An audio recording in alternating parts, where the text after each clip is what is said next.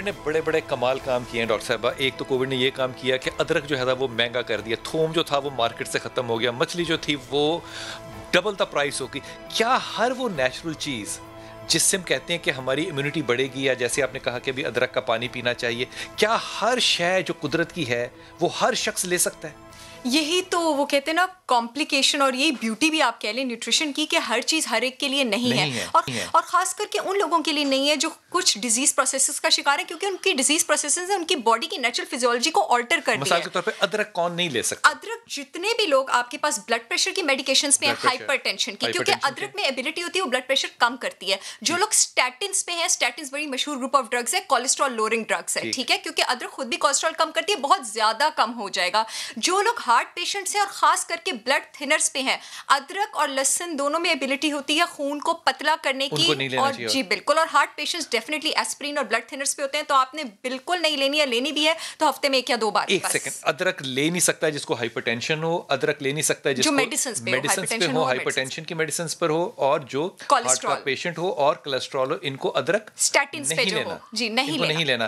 क्या थोम लिया जा सकता है? अच्छा लहसुन भी आपके पास ब्लड थिनर है ठीक है? लहसुन की मैं थोड़ी सी तारीफ़ करना चाहूँगी। लहसुन को इस्तेमाल करने का तरीका क्या है? लहसुन मशहूर क्यों है? इजिप्शियंस जो थे ना वो लहसुन की उसको कहते हैं ना नायाब होने को पहचानते थे वो अपनी करेंसी में लहसुन यूज़ किया करते थे एक जमाने में। मैं उसकी रीजन भी बताती हूँ वो बीमारियों का इलाज माना जाता था एक लहसुन के में पहनती थी लहसन और उसकी करेंसी भी यूज़ किया जाता था। एक क्लोव ऑफ़ लेसन में सौ से ऊपर सल्फ़र कंपाउंड होता है एलिसिन जो कि सिर्फ़ एक क्लोव ऑफ़ लहसुन आपकी बॉडी से सारे बैक्टीरिया और वायरसेस फ्लश आउट कर सकता है लेकिन आपने इसको मिरेकल नहीं समझना है। एक तो इसको कंज्यूम करने का तरीका ये होता है कि लहसुन को फ्रिज से निकाला 30 मिनट के लिए उसको ओपन एयर में छोड़ा 30 मिनट लगते हैं एलिसिन को एक्टिवेट होने के लिए। तब आप अगर आप उसको आप में हिम्मत है कच्चा कंज्यूम करने की तो कर जाए उसका।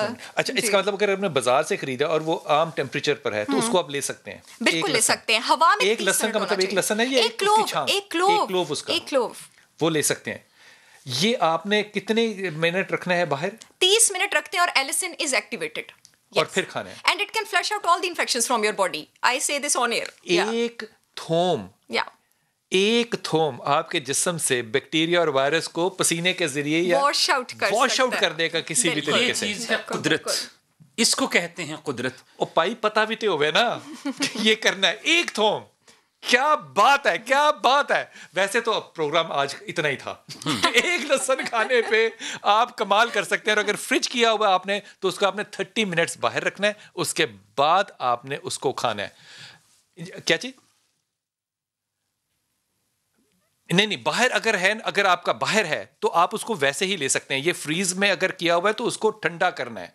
छिलने के बाद उसकी को फ़र्क पड़ता है उसको? छील के आपने उसको ओपन करके ओपन एयर में रखना है। उसको हवा में एक क्लोव को 30 मिनट पड़े होना चाहिए और लहसुन को कभी भी बहुत ज़्यादा पकाना नहीं अगर इसलिए आप यूज़ करें क्योंकि हीट इनएक्टिवेट कर देती है एलिसिन को। डॉक्टर साहब ये जो आमतौर पे लहसन की टैबलेट या कैप्सूल मिलती है उस पर लिखा होता है थाउज़ेंड एम ये क्या चीज़ I absolutely do not believe in this आप लोग don't follow pray to this ये चीज़ें आप मत खरीदे आपके पास नेचुरल लेसन मौजूद है। आप लेसन को लें और लेसन भी आपने ब्लड थिनर्स जो लेते हैं उन्होंने नहीं लेना जो ब्लड प्रेशर की मेडिकेशन ले रहे हैं जो कोलेस्ट्रॉल की ले रहे हैं लसन और अदरक की इस मामले में एक ही तासीर है। ठीक है वो खून को पतला करते हैं तो उन लोगों ने नहीं लेना है अपने आप को किसी मेडिकल अगर अगर किसी को ब्लड प्रेशर है तो वो लसन ले। और ब्लड प्रेशर की दवाई कम कर दे ये मुमकिन है?